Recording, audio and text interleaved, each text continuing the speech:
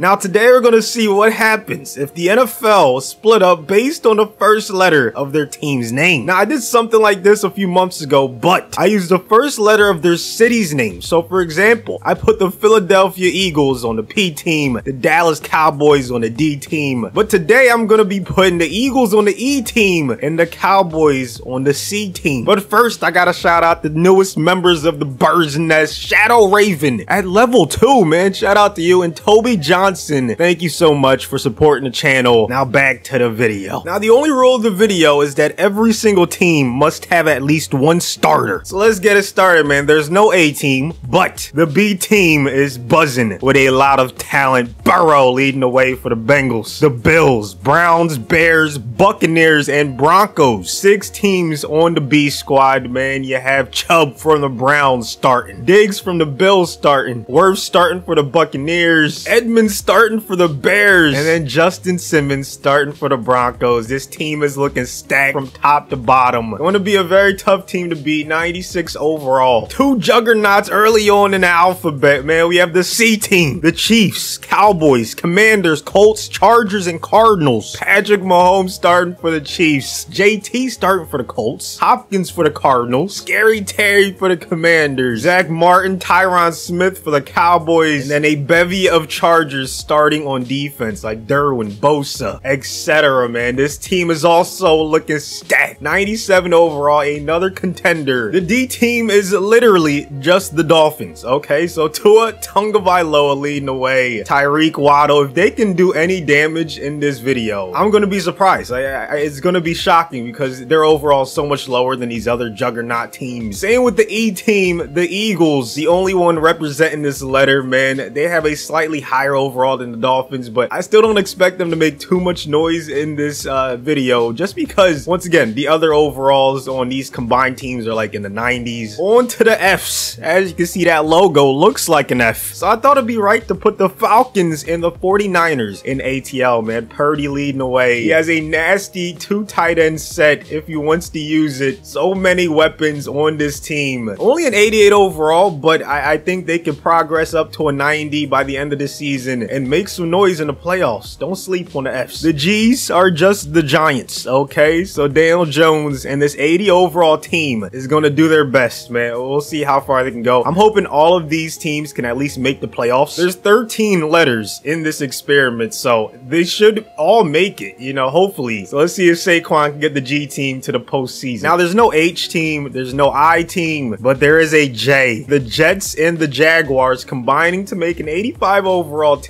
Not too shabby. You know, Rodgers, of course, that, that's a nice get for the Jets. Lawrence would have been solid too. It's kind of unfortunate for them that two guys who have abilities out of the handful of players on their team both play at the same position. So that, that's kind of unfortunate. You know, they probably would have loved to spread that around a little bit. Now, there's no K team, but there is an L. The Lions are the only team representing this letter. Hopefully, they take a lot of W's instead during this simulation. Heavy reliance on Amon Ra, couple new rookies on the team, CJ, GJ, man, who knows what they could do. There's no M team, there's no N, and there's no O, but there is a P. The Patriots, Packers, and Panthers. I put Bryce Young at a 79 overall. Usually when you're first pick, you know, that's around where they put you, especially if you're a quarterback. Didn't give him abilities. I don't know if they're going to give him abilities. So yeah, I just gave him star. I think that's about fair. You know, anything from like a 77 to a 79. Mac Jones was the other option, but I think Bryce will come in with a higher overall. Yeah, man, Aaron Jones leading the way at running back. You have Elin, Juju, Devontae, Hunter Henry, Gesicki. I mean, this team is solid. O-line very well rounded. Defense, so many guys with abilities, man. They definitely sneak up on you. Now, there's no Q team, but we do have an R. The Ravens, Raiders, and Rams combining into a 91 overall, led by 91 overall Lamar Jackson, Jacobs, Davante, Odell, Cooper Kupp. Man, this team, even though they're not the highest overall, they might have the most X factors on offense, combined with even more guys with abilities on defense. Aaron Donald, Roquan, Crosby. They have the best kicker as well, one of the best punters. As for the S team, we have the Steelers, the Saints, and the Seahawks. Geno leading the way. Kamara, Kenneth Walker, nasty running back core. Wide receiver core is one of the best in this video. Freiermuth very solid at tight end. 87 overall, man. Three teams combining to form that. Not too bad at all. So many guys, once again, with at least superstar on defense. You know you have depth when the Honey Badgers not even started. The T's have two teams, the Texans and the Titans. Tannehill is going to be their starter. I didn't know what to do with Stroud. You know, I, I didn't know if it would be fair to put him at a 79, but it's the same difference. One overall, not that serious. King Henry leading the way. You have Robert Woods, Schultz at tight end. 81 overall. You know, not the best, but crazier things have happened. I, I expect them to at least make it to the postseason. I like their defense. I, I think they might surprise some people. So our last letter is going to be V with the Vikings. All right, they're an 83 overall. Obviously, Jay Jettas, Cook, Cousins, Osborn, defense, multiple guys with abilities. Now I have Byron Murphy at CB1. So we are ready to go ahead and sim all the way to the playoffs, see where these teams ended up. I'm hoping every single letter made it to the playoffs, man. Like the video for good luck for your team to make it to the playoffs. The B's made it, the R's made it, the J's, C's, P's, T's. Oh Oh, no, there's a there's an odd man out. The Broncos also made it, even though we took all their good players. The Dolphins did not make it, so the D squad is out. First team in the AFC. That's definitely unfortunate for them. But six out of our seven alphabet teams that we made in the AFC ended up making it. In the NFC, the G's made it, the E's, the F's, the S. This is not the C's, okay? The Cardinals do not have all their best players. They, they all their best players are on the Chiefs. That's where the C team is. The Bears also made it, even though they're not the B team. The Vikings, the V's made So our odd team out is the Lions. 5 and 12. The L team took way too many of those. Here's the B team stats. 61 touchdowns for Burrow. Only 5 picks. 5,500 yards, man. That's a nasty season. 76% completion percentage. Chubb, 19 touchdowns. 1,200 yards. And he had the third most yards per carry on the team behind Burrow and Mixon. 3,000 yard receivers. This team is looking scary. Look at that. 20 touchdowns for Chase. 17 for Amari. 9 for Diggs for third on the team. Their offense is disgusting. Lavonte on defense leading the way in tackling. Four guys with double digits tackle for a loss. Three guys with double digit sacks. Von sets the record with 25 sacks. Five picks for Tredavious. Can the Chiefs one up that? No. Patch Mahomes. 19 less touchdowns than Burrow. Also seven more picks. So, hey man, we'll, see if his uh, production can skyrocket in the postseason. 31 touchdowns for JT. I'm pretty sure that's a record for the most rushing touchdowns in a season. 1,300 yards.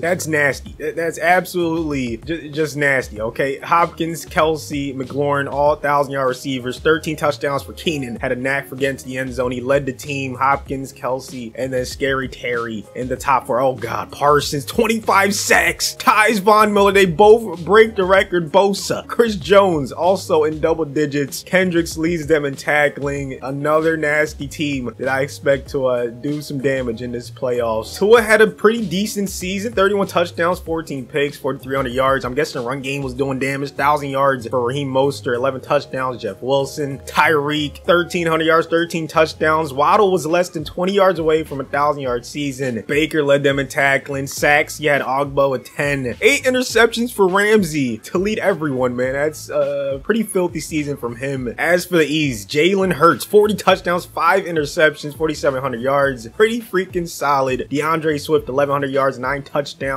Ooh, 3 fumbles. I don't know about that one. He definitely needs to take care of the football more. 2,000 yard receivers. Almost had a third one with Goedert, who was just over 20 yards away. Two double digit receiving touchdown guys on the team. Most sacks goes to Son Reddick, 16 and a half. He had four guys in double digits. Nakobe leads the way. Nolan Smith Edmunds, all guys with 100 plus tackles. And then big play Slay with three picks to lead everyone. On to the F's, you had Purdy with 34 touchdowns, 10 picks, 3,500 yards, a little bit less than what I was thinking, but the run game was doing damage. They had four solid rushing threats, man. You had McCaffrey, of course, 1,481 yards, 16 touchdowns. Deebo, Patterson, Elijah with six touchdowns on the ground. No 1,000 yard receivers. So, you know, they're a running team. That's a good formula to have in the postseason. Aiyuk led them in receiving. Warner, 119 tackles to lead everyone. Grady, Jarrett, 14 tackles for loss. Bosa, 22 and a half sacks, almost gets the record. Two other guys with double digit sacks. Then he had Warner with four picks, just a ball hawk. Terrell at three. The G squad had Daniel Jones playing like a G, 36 touchdowns, only nine picks, 4,400 yards, man. That's a good season right there. 1,800 yards for Saquon, 16 touchdowns. They did a huge carry job for the Giants, man. 1,200 yards for Sterling, 1,100 for Slayton. Parris Campbell, new addition. Same with Darren Waller. So Giants definitely have a retooled offense, looking pretty good, especially in this simulation. Kayvon, Dexter Lawrence, Azeez, all double digit sacks for the G's. Adoree and Belton with three interceptions to lead the team. Rodgers' first season on the Jets and the J team went uh, pretty decent. I mean, not the best. 35 touchdowns, 15 picks, and not the most yards. Less than 4,300, but their run game was doing damage. Breece and Etienne, a nasty two-headed tandem, combined for 25 touchdowns. And somehow Rodgers still managed to find 2,000 yard receivers. Ridley, Kirk, Wilson. Right there, you have Engram, of course, man. I'm, I'm liking this team. They put up some pretty good stats, man. Defense, Quinnen Williams, 14 and a half. Leading the defense, you have Josh Allen, Franklin Myers in the top three. Mosley with four interceptions and also had the most tackles on the team. What went wrong for the Lions, man? Goff did not throw the most interceptions. They even got Sudfeld in there for a few games, man. 16 interceptions, just not the best showing. Montgomery had himself a nice season in Detroit. Him and Justin Jackson combined for 17 touchdowns. They had 2,000 yard receivers. Jameson, I guess he wasn't suspended in this simulation. Yeah, Marvin Jones, of course, Amon Ra doing his thing on defense.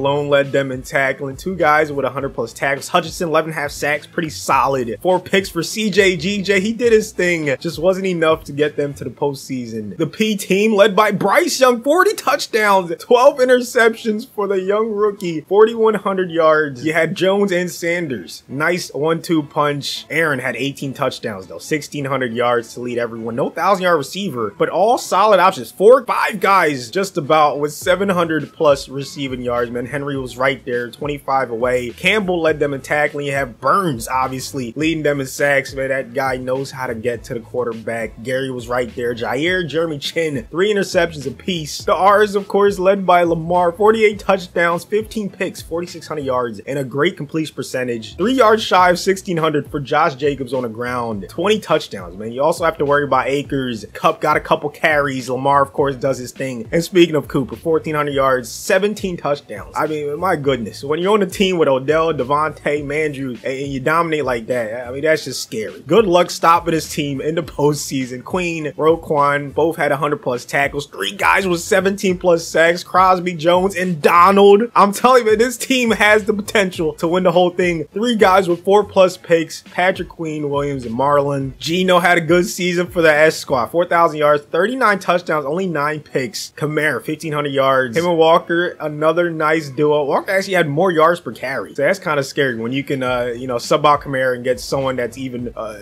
doing better. You know what I'm saying? Freiermuth, Thomas, Metcalf, Lockett, all guys with 800 plus receiving yards. You had Demario, most tackle on the team. Jordan Watt both had double digit sacks. Hayward right there. Six INTs for Lattimore. Another scary defense to go up against. The Honey Badger didn't even start, but he was out here cooking. Tannehill for the T's didn't do uh, the best, you know, 3700 yards, 26 touchdowns, only 12 picks, but you know when Henry is almost getting 2,000 yards, you're not going to have that many yards through the air. 23 touchdowns. Pierce was right there with five. You had Woods six yards shy of a 1,000 yard season. Schultz with eight touchdowns. I think he's going to do good things for the Texans. You had Treylon, 800 yards, man. The receiving numbers look better than I expected. I'll be honest. Denzel Perryman, most tags on the team. You had Simmons, Denico, both double digit sack numbers. Nelson, Jimmy Ward. I think they're an underrated secondary. And then finally the V squad. Kirk Cousins, 39 touchdowns, a little too many picks, 15. But 4,500 yards, he was definitely slinging that ball through the air. 1,300 yards for Dalvin on the ground. Him and Madison combined for over 20 rushing touchdowns. Osborn, Jay Jettas both had 1,300 plus receiving yards, 14 receiving touchdowns for KJ. Addison, you know, the rookie, we had to get him in there. I try to add every team's first round picks. That's going to be the theme until next Madden. You know, I didn't want to go through all rounds, but hey, at least the first round picks. I, I feel like that's uh, good enough right there. Danielle Hunter, 16. Za'Darius, 10 sacks. Davenport was right there. Four interceptions for Simba and the Hitman. Joe Burrow wins MVP for the Bees. Hurts and Lamar right there. Coach of the year goes to the Jays. OPOY goes to Joe Burrow. DPOY goes to Von. So the Bees sweep all the awards in the AFC. NFC, Jalen Hurts got it for the East. Zaven Collins, who wasn't even on any of these alphabet teams, ended up winning DPOY. Danielle for the V's was second. So here's a look at the playoff bracket. Once again, the only teams in here that are not alphabet teams are the Broncos, the Bears, who ended up the four seed, and the Cardinals, who ended up the three seed. So somehow they advanced to the postseason. Let's see if they can keep it going past the wild card round. And no, it looks like we have nothing but letter teams left. The G's versus the S's, the Giants versus the Saints. You have the F versus the E's, Falcons and Eagles. The B's versus the T's, the Bengals and the Titans. And then the R's versus the J's, Raiders and Jets. So that's good. Our last eight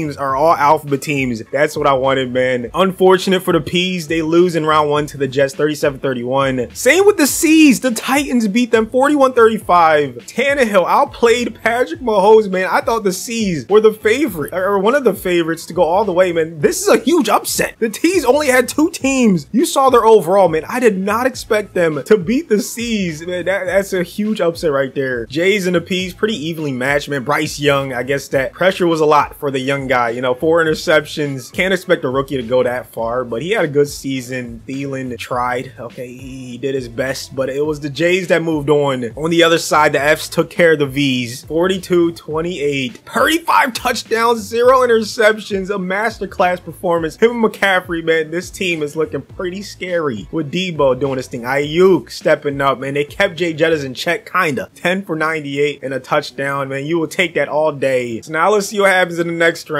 Oh, the T's keep on winning. They take care of the one seed B's. 38-24. What is going on? Tannehill is on a roll. Like him, Henry Pierce. I mean, they have a nice formula. Robert Woods stepping up 19 yards per catch, two touchdowns. Wow. This is another upset, man. I thought the B's or the C's would have won this entire thing. But now that they're both out, man, it's anyone's game. Credit to the T's defense because to stop Joe Burrow on that offense is not easy. You also had the J's lose to the R's. The Raiders move on. 42-21 Rodgers threw two interceptions, man. He had a better pass rating, but hey, it just was not enough, man. Jacobs and company, Odell, Cooper Kupp, not even anywhere to be seen. Like he was probably just a decoy out there freeing up other people. That's scary when you have uh, guys that can step up other than your best players, man. Look out for them. They're in the AFC Championship game. On the other side, you had the G's get clobbered by the S's, the Saints, Steelers, and Seahawks led by Geno, who had a phenomenal game. With Kamara, three touchdowns, seven yards per carry. Walker had 10. I, I mean, the run game, like you're seeing the teams left have nasty run games, nasty defenses. Good season for the G's though. They made it pretty far, even though they only had one team to represent their letter. Daniel Jones, 400 yards passing, man. Nothing to be ashamed about. Saquon though, uh, I don't know, less than three yards per carry. That's something to be ashamed about, man. You gotta do better. But credit to the S's defense for keeping him in check. And then the last matchup, the E's took care of the F's. Letters that are literally right next to each other, and they had a very close game. Purdy did his thing, but Hurts and uh, the E's were just a little too much, man. Wow, the Eagles, 14 and 3 on the season. Beat this team that's pretty much a juggernaut, man. I know they didn't have the best quarter, the highest overall quarterback, but the rest of the roster is, is just nasty. So I, I, don't know. That's a great game. Both teams, uh, you know, definitely fought for it, but only one team can move on. Now, who do we get in the Super Bowl? Is it going to be the E's or the S's from the NFC? And will it be the R's or the T's from the AFC? Only one way to find out, man. If you haven't already, you better go rep your team in the comments. I should have said this earlier, but make sure you put it in the comment section, man. Don't cheat. We have the E's versus the R's in the Super Bowl to decide the best letter, man. The T's had a nice run, but they could not stop Lamar and this offense. Tannehill did his thing. I think he is a little underrated, man. Look at Henry, 2.6 yards per carry. That defense for the R's definitely stepped up to stop the running game is no easy feat, okay? So yeah, give them a lot of credit for that one. Chandler Jones and all them are headed to the big game. On the other side, the E's barely squeak out a W. Hurts having a good season, good playoff run, man. Four touchdowns, only one pick. Geno and company made it really far. They fought, they battled, man. The NFC is going to be represented by the E's, though. That, you know, the Eagles. They they made it there in real life. Now they made it there in this simulation. Just so you know, there's no shenanigans, no force wins, nothing like that. We're going to go through wild card, divisional. You can see it for yourself, conference, and, and now we have, of course, the Super Bowl. All right, here we go, man. We're going to go all the way to the fourth quarter. You have three teams on the R side: the Raiders, Ravens, and Rams. Somehow the E's have the lead after the first quarter, man. What is going on with this Eagles team? I know we're pretty talented, but to have the lead against a team this good and, and all the teams they've beaten so far, I don't know, man. Uh, hey, it's making me feel worse that we did not win the Super Bowl in real life, man. We are right there, but Mahomes' greatness just outdid us, unfortunately, man. 16 to 19, very close game. The R's down three in the fourth quarter. Cooper Kupp, nine catches, over 100 yards. I think that's him in motion. They fake the jet sweep. Jacobs can't shake loose to the second tackle. Brings up a third down and four. Looks like zone coverage, man. Good dot over the middle. They're inside the five. Chance to take the lead for the R's, man. That was Odell's third catch of the game. Came at a very crucial moment. Jacobs gives them the lead. How do the E's respond? They need a touchdown to take the lead back. First play. Hurts throwing a laser to AJ Brown. They're across midfield. We have reached the two minute warning, man. This is a close one in the Super Bowl, just the way we like it. You know what I'm saying? Second and inches. There comes the blitz for the R's, but Goedert's wide open. The E's take the lead. And now it's up to Tucker to send this one into overtime. No use even trying to ice him. I don't know why. Like, he's not going to get iced. He, he's, he's him. He's different, okay? And he has abilities, all right? Fourth down and eight. This is what, a 62 yarder maybe? A 61? Easy money for Justin Tucker, but he misses it wide left. Oh my goodness. Arguably the best kicker of all time in the Super Bowl. The biggest kick of the season. He missed And the best letter in the NFL has to be the E's, man. They end up winning the entire thing. Jalen Hurts is a Super Bowl champion, and so are the rest of the Eagles, man. Great season from the R's. Who would have thought that it would come down to a missed field goal by the best kicker in the league? That, that's nuts. Okay, but hey, man, you know, sometimes not the most realistic. And, and to be fair, it was like a 62 yarder. So it wasn't the closest, but that's like a 52 yarder for, for Justin Tucker. So I'm, I'm a little shocked he missed it. I was hoping for some overtime gameplay, but hey, still had a great Super Bowl, great season, fun experiment. Thank you so much for watching to the end, and I'll see you guys on the next one.